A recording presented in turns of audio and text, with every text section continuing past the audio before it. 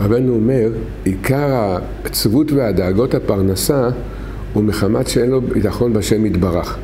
כי באמת, מי שיש לו ביטחון, אז הקדוש ברוך הוא משפיע לו את הפרנסה בדיוק מה שהוא צריך במקום ובזמן.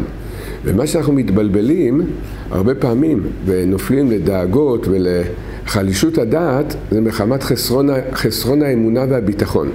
ובאמת זה ניסיון מאוד קשה ומה אנחנו יכולים לעשות וכיצד אנחנו מתמודדים, מתמודדים עם זה.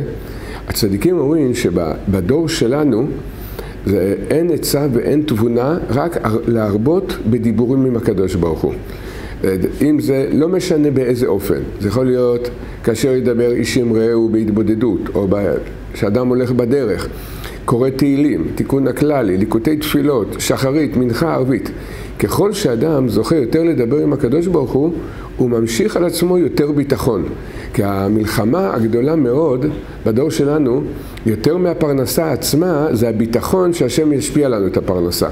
ובאמת יש בזה התמודדות מאוד גדולה ומלחמה מאוד גדולה וכמו שרבנו והצדיקים אומרים העיקר זה להרבות בשיחה עם השם ועל ידי זה האמנתי כי אדבר אומר רבנו האמונה זה כפי הדיבור ככל שאדם יותר זוכה לדבר כך הוא זוכה יותר להאמין להקדשת השיעורים של הרב להצלחה, לזיווג, שלום בית, רפואה, לעילוי נשמת. התרומה עבור עזרה להפצת התורה. ניתן לפנות לטלפון 02-650-2929. תודה רבה ותזכו למצוות. הירשמו לערוץ של הרב ויישארו מעודכנים.